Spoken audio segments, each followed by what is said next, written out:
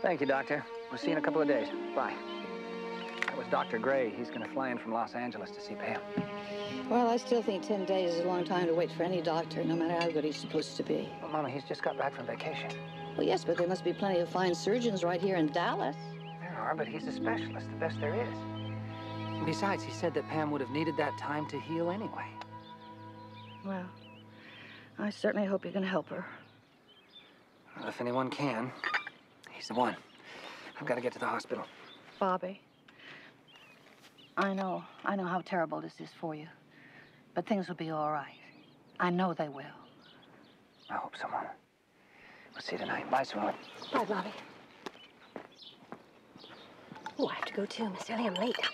Well, you're certainly going in early these days. I have an important meeting this morning. I'll see you later. Sue, have you seen Clayton? Mm, not this morning. Bye-bye.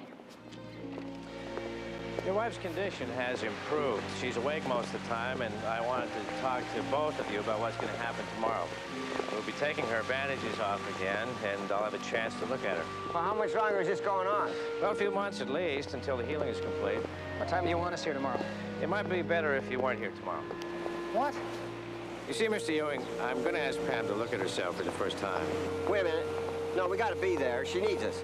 Well, she will need your support, but uh, it's going to be a lot easier on her if she's alone when she sees herself for the first time. Doctor, it seems to me that's when she's going to need our love and our support. After the initial shock, that may be exactly what she needs. But when she first sees herself, I mean, if her brother or her husband has even the slightest bad reaction, and she sees it, well, it could be very detrimental.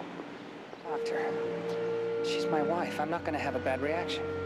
You may not think you're going to react, but believe me, you will. Um, even without realizing it. Yeah, but there's a chance we wouldn't have a bad reaction, isn't there? Yes? But what if you do? I mean, is that the first thing you want your sister to see? The, the look on your face? No. When can I see her? When she's ready. I know it's very hard on both of you, but it's even harder on her. It's going to be very difficult for a woman that was as beautiful as she was to adjust. I understand. Thank you, Doctor. Well, I don't understand. Come on now, give us a day out there. What are you talking about? Three days, four days? Cliff, come on, let's go. I'm sorry, gentlemen, but it's for the best. Thank you, Doctor. Come on, let's go.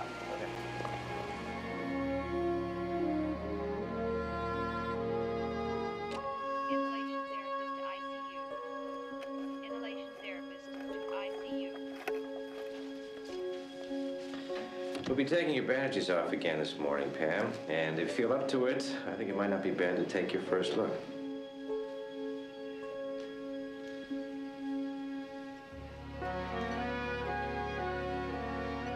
Right, then, please keep in mind what I told you to expect.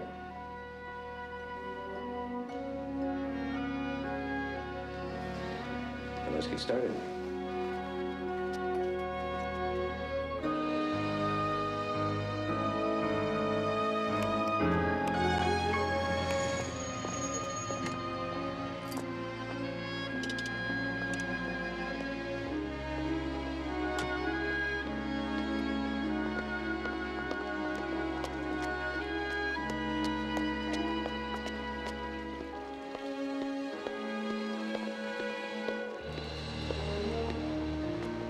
What the hell are you doing down here?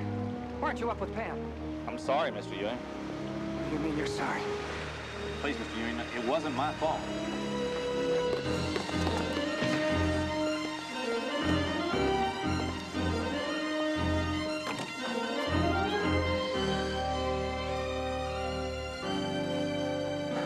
I'm sorry, Mr. Ewing. She's. she's gone.